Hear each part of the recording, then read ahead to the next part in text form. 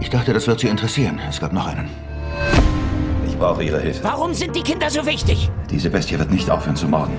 Denunzieren, deportieren, exekutieren. Der Zeitgeschichtsthriller Kind 44 legt schonungslos das Gewaltregime des Stalinismus bloß. Dabei steht bei der Bestsellerverfilmung eigentlich die Suche nach einem brutalen Serienkiller im Mittelpunkt. Die geht bei der drastischen Darstellung des Terrors aber etwas unter. Das ist sie, meine Tante Adele. Gemalt von Gustav Klimt. Es ist wunderschön. Sie hing bei uns zu Hause, bis wir enteignet wurden. Der Fall Cornelius Gurlitt zeigte erst jüngst, die Debatte um den Umgang mit Nazi-Raubkunst ist noch lange nicht abgeschlossen.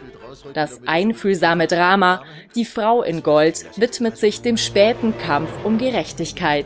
Überzeugend und optimistisch verkörpert Helen Mirren eine Frau, die ihrer Würde und Kunst beraubt wurde und nun Wiedergutmachung fordert. Also Marc ist äh, meine zweite große Liebe. Und wer war die erste? Benno Fürmann ist immer wieder für kleine Filme zu haben. Und die sind meist wirklich überzeugend, wie das Drama Nachthelle zeigt.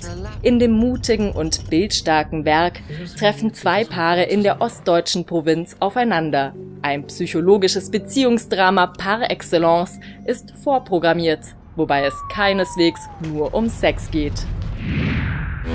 Ich bin zur CIA, um eine coole Spionin zu werden und bin auch dieselbe Langweilerin wie vorher. Du gehst zu sehr auf Nummer sicher. Ich höre einfach meine Mutter. Gib deine Träume auf, Susan.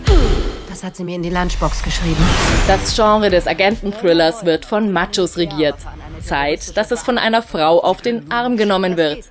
Die köstliche Agentenpersiflage Spy Susan Cooper Undercover weiß nicht zuletzt durch die unvergleichliche Hauptdarstellerin Melissa McCarthy zu unterhalten.